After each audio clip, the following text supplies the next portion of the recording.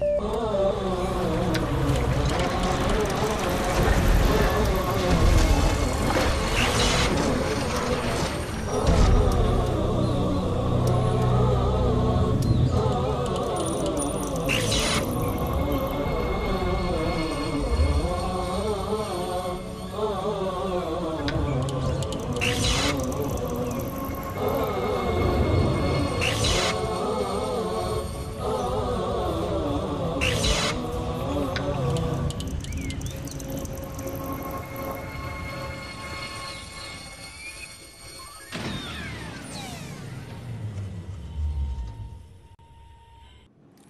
الحمد لله الحمد لله وحده و الصلاة و السلام علی من لا نبی بعد سلام خداوند بر شما بینندگان عزیز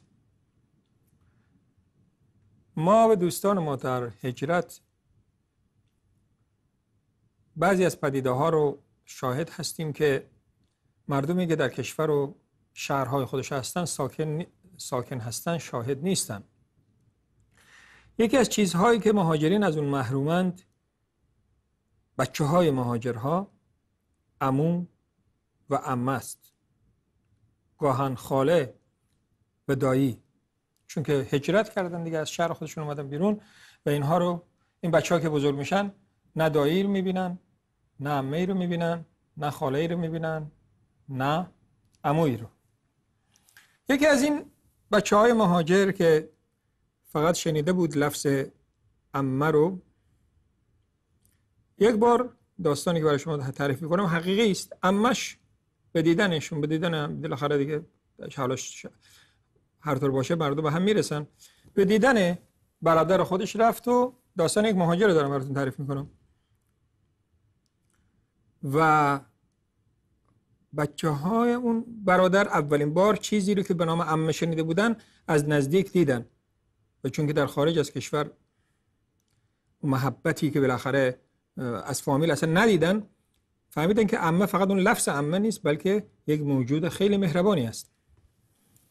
و بعدها همین دختر همین دختر خانومی که امه رو دیده بود و تجربه کرد که امه چقدر چیز مهربانی است شنید که پسر همین امه تصمیم داره خانواده خود ترک کنه و بره به اروپا در اونجا زندگی کنه. این که قدر عمه می‌فهمید حرف جالبی زد. گفت آیا مگر ممکنه انسان عمه به این مهربونی ول کنه و ازش دور بشه؟ یعنی چجوری طاقتش میاد که ازش دور بشه؟ بهش گفته شد که آقا این عمه برای تو عمه بود اما برای اون مادره. یعنی چقدر که به تو مهربان بود ده برابر صد برابر بیشتر به همون فرزند پسرش مهربونه. ولیکن ترکش می‌کنه میره. چرا؟ برای اینکه تو چون نداشتی قدرشو می‌دونی. اون که داره قدرشو نمی‌دونه. تو قدر عمه نداشته یه دفعه دیدی حالا فهمیدی. اصلا دلت نمی‌خواد ازش جدا بشی و تعجب می‌کنی که چطور ممکنه انسان از عمه خود جدا بشه. ولیکن اون قدر همون مادر و همون عمه ای که برای تو عمه مهربان بود برای اون مادر مهربان تر است رو نمی‌دونه. چرا انسان معمولا قدر چیزی رو که داره نمی‌دونه؟ یک بار ما این داستان برای خودم اتفاق افتاد. یک بار توی پاکستان به سوار تاکسی شدم. صاحب تاکسی مینالید از کشورش. ما که مهاجر هستیم دیگه می‌فهمیم که کشور یک نعمتیه. هر چی باشه تو در کشور بالاخره غریب نیستی. یکی بالاخره قبیله ای داری. این بس فهمید که ما از پاکستان نیستیم. به ما گفت که دعا کن که ما بریم خارج از پاکستان زندگی درست کنم. گفتم قدر پاکستان رو بدون یک نعمتی هست که تو باید قدر کشورت بدونی. گفت آخر در این کشور چه نعمتی است که من قدرش بدونم؟ این داشت رانندگی می‌کرد. گفتم بعضی از نعمت ها رو انسان نمی‌فهمه تا بیرون نیاد. ما که از نعمت کشور خودمون اومدیم بیرون از ایران بیرون اومدیم باز فهمیدیم که چه نعمتی رو از دست دادیم. البته ما به خاطر عقیدمون اومدیم. گفتم شما حالا داری رانندگی می‌کنی این دست توه. این دست تو اگر همین جاها رو نداشت که کج می‌شد خم می‌شد تا می‌شد تو چجوری بود؟ فکر کن که اگه دستت همینطور راست میموند. چقدر این تو عذاب می‌شدی؟ همینطور دستت میمون پنجت بسته نمی‌شد مچت بسته نمی‌شد این بسته نمی‌شد این بالا و پایین حرکت نمی‌کرد. تصور کن حتی نمی‌تونستی چیزی بخوری حتی نمی‌تونستی رانندگی کنی و حتی و حتی و حتی. گفتم تو هرگز شکر کردی که خداوند یک دستی به تو داده که تا میشه؟ یا مچ انگشتای دستت تا میشه تا میشه و باز میشه؟ گفتم همین کشور تا بیرون نری نمی‌فهمیم. حالا گفتم من تو یک دعوا بکنیم تمام دولت با تو هست. چرا که من بیگانه هستم. گفتم یک نعمت برای توه. مقصود حالا اینه که ما قدر پدر مادر وقتی می‌فهمیم که از دست ما رفتن در حالی که بالاترین نعمتی است که خدا به ما داده. و خداوند از ما خواسته که به اونها احسان کنیم موضوع بحث امروز احسان به والدین هست قبل از اینکه از دست ما برن. از دست ما که پدر رفته شما اگر پدر مادر دارید از من عبرت بگیرید و من نمیگم که آدم می‌تونه صد درصد انجام بده. خود منم انجام نمیدم. همیشه انسان کوتاهی می‌کنه. اما آب دریا رو اگر نتوان کشید هم به قدر عافیت باید چشید. به اندازه که آدم می‌تونه صد کن به دست نیومد 90 هم خوبه 50 هم خوبه. الله میفرماد و عبد الله ولا تشرکو به شیئا و بالوالدین احسانا. امر خداست. اول شرک نکنید. دوم اینکه به والدین خودتون احسان کنید. حتی این آیه را هم ما داریم. فلا تقل لهما اف. حتی اینم نگو اف. داری چی میگی؟ اینم حد حق نداری بگی. امر می‌کنه. یعنی حتی اوف هم تو قرآن آورده قرآنی که کتاب عظیمی است.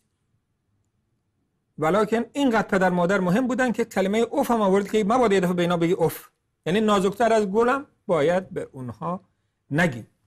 مردی آمد پیش پیامبر. ببینید ممکنه خیلی از این چیزها رو شما بدونید اما تذکر دادن همیشه آدم بیاد میاره. خودتون هم می‌دونید که آدم شیطان یکی از کارهایی که می‌کنه آدم در غفلت میندازه.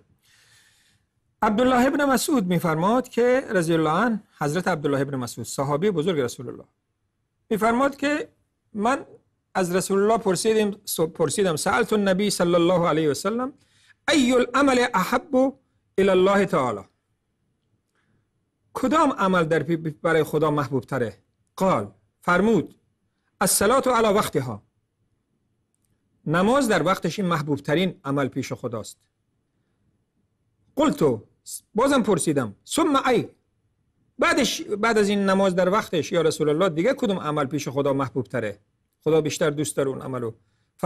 قال فرمود بر الوالدین نیکی به پدر مادر.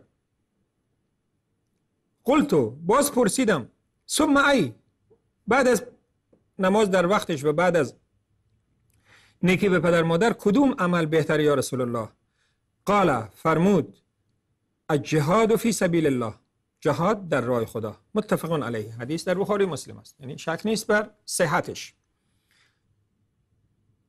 حالا برای اینکه بفهمید نماز چقدر مهمه و بعدش نیکی پدر مادر چقدر مهمه اون سومی رو ببینید. چون که سومی سه که اینقدر از, از این باشه ما می‌دونیم که در حدیث است که یک کسی که غبار جهاد در دماغ یعنی وقتی در راه خدا میره غبار به غبار صحرا به دماغش بیاد اون دماغ رو آتش نمیسوزونه. جهاد ما می‌دونیم که چقدر فضیلت داره در اسلام و عمل عمل سختیه. با این وجود این عملی که انسان اگر انجام داد یک صبح تا شب یا یک ساعتی هرگز به جهنم نمیره رو که نیتش برای خدا باشه همه گناهانش پاک می‌کنه اولین قطره شهید که به زمین میریزه چقدر ثوابش آدم که می‌دونه 72 برای برای شهید 72 هوری است برای انسان های عادی دو هوری است. این همه مقام بالاست. با این وجود احسان به پدر مادر رو خداوند بیشتر دوست داره. و از اون بالاتر طبعا نماز بیشتر دوست داره در وقتشون هم نه هر نمازی رو نمازی رو در وقتش. و می‌دونید که اصلا نماز فاصله بین کفر و اسلامه. یعنی کسی که نماز نخونه ما می‌تونیم بگیم اصلا مسلمون نیست. اصلا نماز یعنی به طور کلی ول کنه. مورد در قانون اسلامی اونو مسلمون نمیگن. بعد از اون نیکی به پدر مادر دیگه تصور کنید چقدر این مهمه. و نیکی به پدر مادر چیه؟ هیچی نیست. یک لبخنده یک تلفن از شما نه پول می‌خواد نه از شما زحمت می‌خواد. بلکه حتی به زحمت شما هم راضی نیست. حتی به پول شما هم راضی نیست. خودتون می‌دونید دیگه. حضرت این حدیث دیگه که دارم الان خدمتتون میگم حضرت ابو هریره راویش هست و امام مسلم نیشابوری این رو در که صحیح مسلم ثبت کرده. یعنی حدیث صحیحه. پیامبر فرمودن که هیچ پدری هیچ پسری نمی‌تونه حق پدرش رو ادا کنه. مگر اینکه اون پدرش برده بشه یعنی کسی اون پدر به بردگی ببره این اونو بخره آزاد کنه. تا این حد حق پدر زیاده. و در حدیث دیگری که از حضرت ابو هریره است هم بخاری هم مسلم ثبت کردن پیامبر فرمود که هر کسی ما یک دفعه این حدیث رو شما گفتم حالا به طریق دیگه است که هر کس ایمان به خدا و روز قیامت داره ایمان مهمان خودش گرامی بداره هر کس ایمان به خدا و روز قیامت داره. پیوند خیشاوندی خود رو برقرار کنه و هر کس که ایمان به روز قیامت و آخرت داره یه حرف خوب بزنه یا ساکت بشه. در اینجا پیوند خیشاوندی رو نگه داشتن سلطال ارهام این بالاترینش بالاترین خیشاوندی خیشاوندی مادر دیگه. بعد از اون خیشاوندی پدر دیگه. از مادر پیدا شدیم از پدر ما به وجود اومدیم. ما از پدر و مادر خودمون به وجود اومدیم. خدا ما رو خلق کرد. لذا توجه کنید که خود قطع خیشاوندی این بزرگترین گناه است اما در خود این بزرگی گناه گناه بزرگتر این است که از پدر مادر انسان قطع رابطه کنه. آیا چنین کسایی هستن؟ والا هستن تو دنیا. متاسفانه هستن که اصلا صحبت پدر مادر خود رو کار ندارن. خدا کنه که کار ما به اونجا نرسه. من خاطرات زندگی یک مهاجر افغان رو در آمریکا خوندم که خاطرات زندگیشو نوشته بود. گفت من در یک پمپ بنزین کار می‌کردم.